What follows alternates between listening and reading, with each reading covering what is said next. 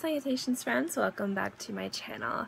Today I figured I'd share with you guys a little fragrance story time and I talked to you about um, some parts of my time when I worked in the industry, which is when I worked in the fragrance and cosmetic store. Uh, I keep referencing this over and over, the good and the bad. I figured I should just probably tell you guys about my experiences there. So, if you'd like to know um, about what got me into fragrances and my first taste of this whole fragrance community and practically world, then keep watching.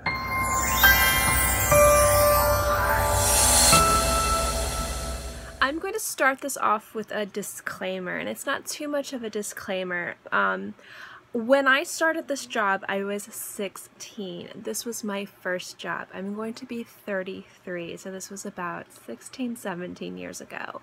All of my experiences at the time, I thought I was a good employee, I thought I was doing a good job, and I had no expectations or no experience as to what to do when it came into asking for time off or what was expected of me. Um, I pretty much thought I did a good job. There's going to be one or two um, people I'm going to complain about in this video, but do you understand that they were more experienced and not old, but older. They were about 30, 40 years old. So they had more experience in the workforce and I was very green. So although I'm coming at you from my experiences being upset at what some of these people did, I do understand completely that this was my first job and I probably definitely wasn't in the right a lot of times. But this entire video isn't going to be me bashing or me complaining or me whining. It's going to be talking about the good and the bad and some of the interesting experiences that I had. Okay, let's start off with the job. um, I've talked about this before. I don't ever say what the store is because there's not that many in the States, but it was called Douglas Cosmetics. Um, it's a German-based company and they have a few in the States. I don't know if even the store that I opened what is still around. And when I say I opened the store, I was literally opening the store. We were the skeletal crew to open this store. I hung shelves, we did inventory, we did everything. Now because I was in high school at the time, I could only come after school, so a lot of the team building stuff that they did to really solidify the team, um, they did when I wasn't there. So I was kind of like the odd man out. So they would all come back and talk about all these team building exercises they did or all these classes or um, stuff that they learned and did together. And I always kind of felt left out. But I knew that I was, you know, 16 and that this was, you know, I was kind of more of the temp and they were more of the career. This is what they did everybody in that store had a background in the industry one way or the other. My manager used to be a makeup artist on movie sets. Um, everybody had worked in the cosmetic industry or the beauty industry as makeup artists or just behind counters for at least five to six years. It was almost a, the youngest was 21 and she had actually quit school, got a GED, and went and got um, a certificate to be a makeup artist. So she had actually worked in the industry a long time, even though she was very young at the time, or what I would consider very young for somebody that had a lot of experience. If you're unfamiliar with Douglas Cosmetics, it's very similar to a Sephora or to an Ulta, only it's a little bit more high-end, and they were known for having an extensive fragrance area. They had the entire Creed line. They had probably over a thousand bottles. Like it was insane how many bottles they had of different fragrances. This is the first time I really experienced different fragrances in a different variety of price points from $50 to $500. I learned more about niche brands and luxury brands and not just the standard um, the stuff I'd known, like Clinique Happy and Elizabeth Arden, although I do enjoy those fragrances, it was very eye-opening in a very positive way. Now because I didn't have any experience in other jobs or in the cosmetic counter, they also had a skincare area where they sold Clarins and La Prairie, and also our cosmetic area sold Dior, Chanel, um, and whatever was hot at the time. This was around the time that hard candy was really expensive and really high-end and you could find in department stores. So that's where we would we would sell hard candy, Tony and Tina, Urban Decay when it was just starting out, but we also again had Dior, Lancome, um, Chanel, and then the high-end um, skincare and fragrance areas. Since I didn't have any certification or any experience with, we'll call it the color side, I was forbade from helping anybody unless it was to find them a specific color. Because Douglas had a very good return policy, they wanted to make sure that their customers got what they needed with the right expertise and experience from the right sales associate. So I was mostly the cashier and I was also the fragrance girl, which means if anyone had any questions about fragrances, if anybody needed any help in that area, that's where I went and that's where I got a lot of my training and I also got a lot of my passion and learned a lot um, from that as well. Now, working in the fragrance area, you guys have heard some of my stories um, and the, the one that I think people most giggled over was the woman who would constantly come in and she I don't think she was rude, I just think she was oblivious. It didn't matter what you were doing, who you were helping. She always had a question and her question always took priority. This is the one where the person um, accidentally bumped into an entire display of testers and they all crashed to the ground. There was a little kid running around and the mother didn't care. And I was picking up glass with my hands and completely drenched in like 10 different fragrances. And this woman's like, can you help me? And I'm like, uh can you wait for me not to be covered in glass? Anyway. On top of that, the area I worked with was very affluent, and I got some of these people, and I don't have any issue. If you work for your money and you can afford it, spend it however you want. As long as you're not hurting anybody, it's your money. Go for it. But I mean, this is when I was 16 and I wasn't, you know, like my dad worked very hard. My mom worked very hard so I could have a really good life and I had a fantastic life. There are things that I always wanted, but I think unless you're a billionaire, there's always going to be things you want you don't get. And I also think that that helps build character.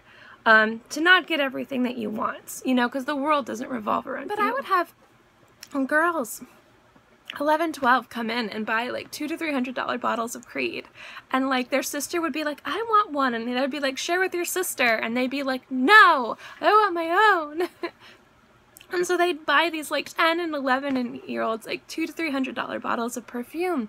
I had this uh, teenager come in because she wanted the really expensive La Prairie skincare cream. And everyone was telling her, this is not for your skin. You are young. You do not need this skin. The skin is for 40, 50, 60. And she's like, no, I need the best for my skin. And it's like, you know, she paid with daddy's credit card. That's what a lot of it was. It was um, kind of interesting to see how these people, these kids, live their lives, spent their money. Now, most of the time, they were very polite. There were some rude people, but I think no matter where you work, no matter what you do, there's going to be rude people. So for me, that's not where my gripes came from. My gripes came from other employees. Now, again, I was the bottom of the totem pole. I was 16 years old. My shift started at 3. School got out at 2.30. I class was 15 minutes away. So I would actually have my mom pick me up from school. I would change into my uniform in the car. I would have my makeup on from high school because I wore it a specific way. I did a whole video of what I did, you know, how I did my high school makeup. I would get there and like one of the employees there, I, I forget his name, I believe it was David. He was, um, it was a drag queen at night. He was wonderful, very sweet, very nice. Um, kind of took me under his wing. I'd come in, he'd see my makeup, he's like, no. He'd pull me, he'd do my makeup, he'd show me how to do my makeup, um, and then I would go because we had to wear the product in the store and look presentable. My alternative wannabe mall goth punk rock makeup was not going to cut it in a place that sold Chanel and Lancome and La Prairie. So I did have to put on a more professional face of makeup. Everyone there was really, really nice and it was really more of a learning opportunity. Although I wasn't allowed to make recommendations or put makeup on people, I was taught a lot of knowledge about the brands. If somebody had a question and somebody else was busy, we were always supposed to give the customers first priority, which is where I think that person who constantly always asked questions kind of got into the habit of knowing that if you ask a question whenever, we were supposed to give you an answer. However, we would hope that customers wouldn't butt in on other customers. So I was taught the basic knowledge of a lot of things that wouldn't so much hurt if I got it wrong. Like, now there was a woman who worked there named Wendy. Now this is 17 years. I don't think she's watching my videos anytime soon. Um, she was very professional, very good at her job. But she was very, very um, rude to me. she never gave me any respect at all whatsoever. I would be late to work sometimes because of traffic or because my mom getting me from school would it would take an extra five minutes so I would come in at 3.05 instead of 3 o'clock. And my mom was a trooper for driving back and forth back and forth to pick me up because I didn't have a car at the time. She was wonderful to do that.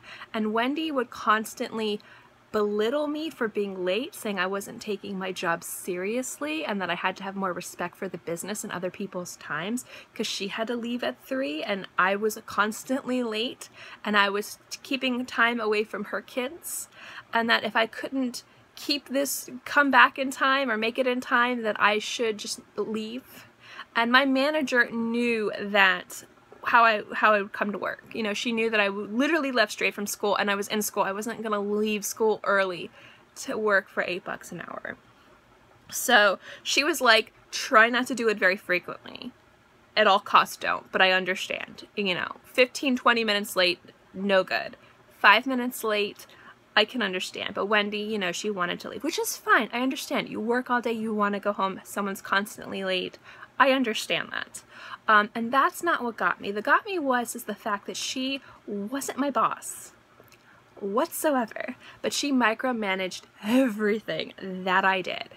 Um, there was a time where we were given a lot of testers and stuff in the beginning, but when representatives for the company started coming and we were supposed to get gratis, I always got gratis from fragrance. Or, you know, if somebody was like, okay, we'll give you bottles of perfume, you know, to try out and test. Uh, but here is also um, the beauty side of it. I she made sure it was her mission to make sure I never got gratis, even though it didn't affect her gratis. Never. it wasn't like here's a pool of money you guys have to spend. Divvy it up equally. It was always like each one of you have $250 or $300 to spend is how it worked. We were allowed to pick things from the store. Um, or they would just come in and just give us each little packages. But like I got one package and she was livid. She's like, she doesn't deserve gratis. She doesn't do what we do. She doesn't work with color. She only does fragrance. She doesn't deserve this. And I was like, I don't understand. And David was like, he was friends with everyone. You know, he no one took sides with this. And if anyone took a side, they took Wendy's side because I was, you know, I understand. I was 16. I was the temp. Um, but they were all very nice. She was just the only one. um, and, you know, and they were all like, well, you know, she doesn't work in color, but she is the cashier and people comment on her makeup. And if they like the color lipstick that she wears, we can sell it to them and it helps. Here's the other thing. You didn't work on commission here. No commission. None. So there was absolutely no reason for any of this. It's not like I could like sell my lipstick and be like, oh, this is this color from Estee Lauder, this is this color from Dior. I'll grab it for you real quick. There was no commission. None. No commission. The only, and so I didn't understand why she was so against me getting gratis. So one day an Estee Lauder rep came in and he gave us all sheets to fill out for gratis. And it was around Christmas time, and he was very nice. And I even asked because I'd been denied gratis from a variety of different companies. Um, and I asked him because he handed me a sheet, and I'm like, I'm just the cashier. Do I get gratis? He's like, Yeah, we'll give it to you. It doesn't matter. You're you're here. Of course, we'll give you gratis. Um, and Wendy had off for like two days or whatever. Um, and she had come back, and I was off the clock. I had been done with work. I only came in for a few hours. I wasn't closing. I was literally like, okay, I got, my mom's going to be here in 10 minutes. I'll fill out the sheet and give it to my manager. And she saw me filling out the sheet. And she's like, what is that? And I'm like, this is the gratis sheet from Estee Lauder. I'm filling it out. There's nobody in the store, my, you know. And she's like, you're not allowed to have that. And she like storms in the back. And I was like, whatever. I fill it out. I turn it in. The next day, my manager's like, you know, Kristen, you really aren't allowed to have gratis. And I'm like, you know, I, I know that. And the Estee Lauder rep said it was okay. And you even knew I was filling out. And she said, well, Wendy, Wendy doesn't really think that you should. And we're training her to be a manager. And we really need, you know, and we kind of need to make sure that our team is strong and that there's no strife. And so we're just going to deny you this gratis. And I was, it wasn't that I was like being denied the gratis. It was like everyone said it was okay until Wendy threw a tantrum. And then it was like, no gratis for you. And I was like, ah. But it was just kind of like, but when I found out she was a manager, that's actually when I quit. I quit a few weeks ago. There's no way I was working underneath her. But it was like that mentality. It was like, ah, so she was this, like, she was the thorn in my side for this job.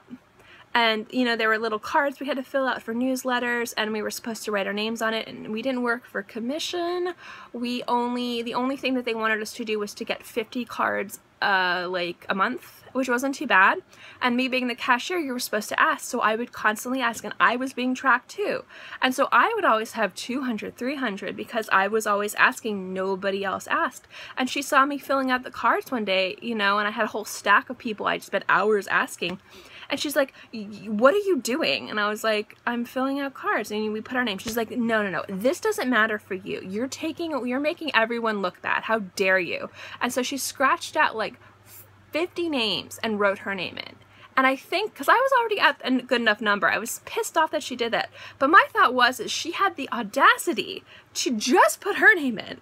It's not like she didn't put anyone else who was working that day. Then I would be like, well, this sucks, but okay. But she just put her name in. She didn't put David's name. She didn't put the two other people who were working just hers. And the thing is, is they would bring the customers up to me because I was a cashier and they'd be like, tell them about the newsletter.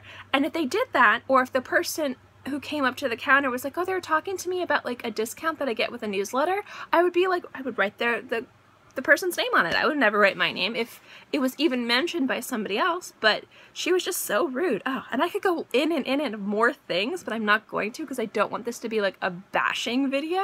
But that was the negative side of it. So I only worked there for about eight months. Um, and I got another job selling ice cream, which was really fun. But what I loved most about the job really was working and helping people find fragrances. It was my favorite thing, you guys. I loved that. I always loved helping people find things they want to buy. Um, it was always something I really enjoyed doing. I like selling things um, and again, this isn't me like being like, oh, I sell mattresses. It was like the journey to find their fragrances was always so much fun. I learned a lot about notes. I learned a lot about what I called scent stories, which is how a scent wears on the skin. Learned a lot about body chemistry because I was their test strip. I would have at least when I would go home, at least 10 different sprays on me. And I'd constantly remind them, it's gonna be different on me than it is on you. And they would be like, I don't care. But it was really fun to tell people the history behind fragrance houses like Creed or talk to them about Chanel or a lot of other niche houses or you know like this really inexpensive one is amazing. It's performed so much better than this. And really get people excited about fragrance. It really just made me so happy and that was my favorite part of the job. My other favorite part of the job wasn't helping other people find their fragrances was to help people find gifts. I don't know why but I love that I always loved helping you know a guy find a gift for like his wife on their wedding day. We did that one time. Um, and it was great and it was a bottle of Creed and I forget what it was. Um, or helping someone, you know, they wanted to get a, a, bride wanted to get bridesmaids gifts and she's like, this is this personality, this is this personality, this is this personality. And we spent like two hours picking out fragrances um, for her bridesmaids. Or, you know, like a father wanted to buy his son his first cologne. You know, like it was, that was so much fun. And this is also around the time where, you know, growing up, like it was a very conservative area. Um, but there was also a lot of just people like breaking norms. And again, you know, there's this has been going on forever. But to me, fragrance has always been genderless and it's always been unisex. It's just how it's marketed. Um, so we had the female fragrance marketed and then the male fragrance marketed. And then like the, the niche expensive luxury was kind of more of the unisex area.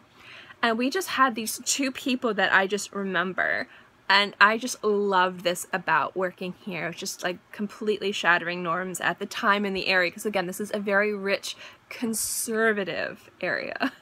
Um, and then we had David who worked there, who is a queen, and he was wonderful. Um, and there's just like this very like older, distinguished woman, and she loved to smell like I think, oh my gosh, it was a Gucci fragrance for men at the time. I don't remember.